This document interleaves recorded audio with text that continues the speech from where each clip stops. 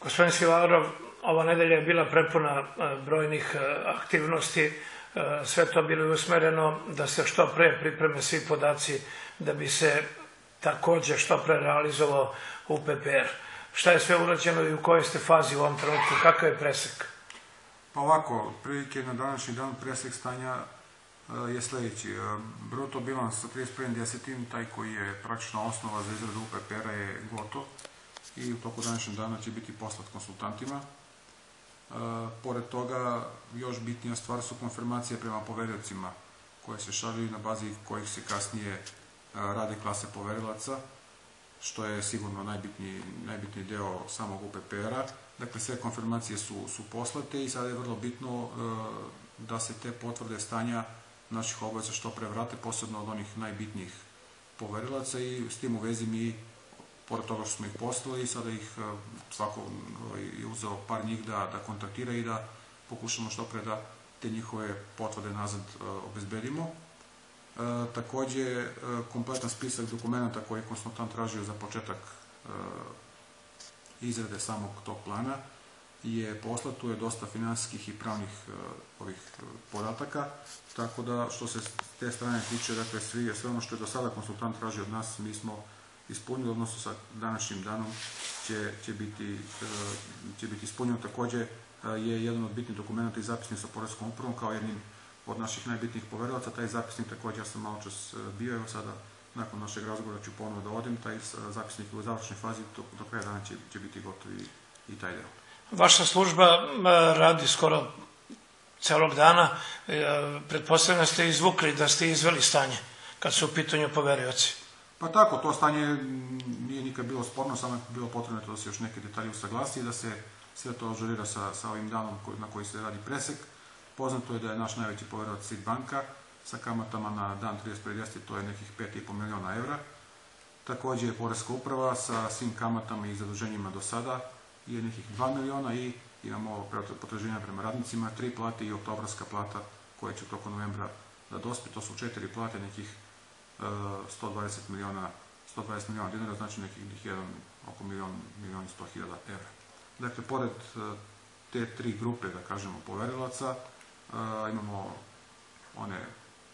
poverilaci iz tekućeg poslovanja, distribucija, odnosno EPS snabdevanje, vodovod, pirotski, komunalac, industrija će 1. maj u restrukturiranju kao takođe jedan od tih bitnih poverilaca i niz sitnih poverilaca, ali kažem, ova tri, tri su ključni i tu je još jedna stvar,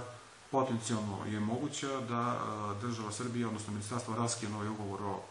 subvencijama, raski tog ugovora, da li će ga biti ili ne, to će on odlučiti, ukoliko se ukoliko taj raskid desi, to bi za sobom povuklo naplatu garancije od strane ministarstva, a to bi dalje značilo da učiti iz banka postati jedan od tih bitnih poverilaca, ali kažem, to je već nešto što je, nije na našem domenu i mi čekamo da vidimo kako će se po tom pitanju uh, oglasiti ministarstvo. Koji su dalji koraci? Dalji koraci su, uh, pošto smo mi tu na svakodnevnoj vezi sa konsultantom i danas smo ovaj, razgovarali, E, dalji korak, prvi korak je dolazak revizora, s obzirom da je za potrebe izrade UPPR-a neophodna i e, vanredna, vanredna revizija, koja će biti malo specifična, neće biti u punom obimu, već samo skoncentrisana na one detalje koji su značajni za UPPR. E, ta revizorska kuća koju konsultant će delegirati s obzirom na saradnju iskustvo koje ima on sa, sa tim kućama, bi trebalo toko sledeće nedelje da, da dođe, vidjet ćemo koji će biti dan, to zavisi od dinamike ovih konfirmacija kako budu vraćane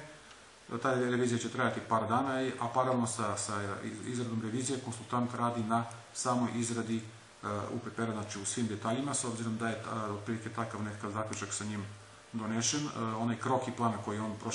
prosledio ministarstvu je dobio neku usmenu saglasnost, ali to nije bilo u onoj meri kako smo mi očekivali preko one ministarske komisije, već je bilo to neki interni sastanak u samom ministarstvu, pa smo mi odlučili da da se e, dakle, izradi plan u punom obimu i da se kao takav najpre e, prezentira ministarstvu da bi oni e, dali, odnosno da bi se oni izjasnili da li pismeno saglasnost na ceo taj plan. Ukoliko se to desi, onda je sledeći korak razgovor sa SIG bankom, a nakon toga ide aktivnosti prema sudu, dakle predaje se plan sudu i um, postoji tada mogućnost ona u uvođenju uh, privremene mere, odnosno deblokade računa. Mi smo nešto računali, to je sve uh, onako nezahvalno prognozirati sve to su neki rokovi koji ne zavise i sve od nas, ali otprilike se planira da bi u toku se polovine decembra ili drugoj polovine decembra te aktivnosti mogle biti završene, ako sve, kažem, teče kako, kako smo mi predvidjeli, ukoliko svi, sve strane u izradi UPPR-a na neki način poštuju te rokovi i podrže sve ove naše napore, dakle da li negdje u drugoj polovini decembra sve te aktivnosti budu okončene, se eventualno tada krene prema sudu. Paralelno sa tim e, svim aktivnostima, ono što je još bitnije, to su kupci, razgovor sa kupcima i taj proizvodni potencijal koji je u suštinskog znači, jer sama izrada i usvajanje plana neće imati smisla ako se to ne bezbedi i to ne desi. U tu svrhu znamo da su prvi razgovori obavljeni u ministarstvu, da su od strane konsultanti ministarstva poslati ti okvirni ugovori prema, prema kupcima, da su prve reakcije i prvi komentari kupaca počeli da stižu na e, mail konsultante i da se u narednom periodu treba očekivati da se te aktivnosti intenziviraju, e, da se tu naravno uključi naša komercijala i naš direktor i da sve to na neki način bude e, u nekim okvirima dogovoreno da bi se kada se ovaj drugi preduslovi stvore da, da zajedno sa tim i proizvodnja može započeti. Vraćam vas na ove cifre. E, dakle, poverioci su najglavniji, najvažniji u celoj priči. E, SID banka oko 5 miliona i nešto, preko milionje e, za penzije iz fonda, ostalo je negde, ajde neka bude, nekih je 8 miliona, možda i nešto više tih obaveza. Oko 9 miliona evra su obaveze bez Sber banke koja još uvijek je potencijalna, a da li će biti stvarni povrat zavisi od ministarstva. Može li prvi maj da ponese taj teret kasnije? Pa znate kako, to su sad veći detalji, ali ono što, što je meni prezentovano strane konsultanta, ovdje se predviđa jedan drugačiji model rješavanja obaveza, koji nije premenjen ovo što mi u dosadašnjim planovima, koliko sam ja barem video i čuo, nisam video takav model, dakle jedan model koji otvara nekoliko mogućnosti za same te poverioce. Ja sad zaista o detaljima ne bi, ali mislim da taj model može da garantuje da će ova fabrika moći da se na neki način relaksira tih obaveza i da će moći da da normalno postoje nakon svanja plana. Dobit ćete grace period i određeni period da vratite te dugove, naravno jedino kroz proizvodnju. E, ima tu specifičnosti, nije to baš tako da će biti grace i određeni, dakle ima zaista malo specifično, kažem detalje, sad ne smemo da, ne da ne smemo da jednostavno nije to konačno da bi mogli to da sada oko detalja govorimo, ali jednostavno e, način rješavanja obaveza bit će vrlo specifičan, osim prema radnicima gdje će se naravno utvrditi dinamika shodno planiranim aktivnostima proizvodnim kako se bude Radnici čekaju naravno sve ove informacije, imali nade da tamo negdje pred kraj decembra ili sredinom decembra se vrate posla? Pa znate kako, mnogo kockice treba se slože, mi ovo što je praktično taj mozaik e, svih aktivnosti treba se složi, mi ono što je u financijsko i pravnom delu koji su sada također angažovani, polako te kockice slažemo, potrebno je da se prođu sve te saglasnosti koje su neophodne, potrebno je i najbitnije da se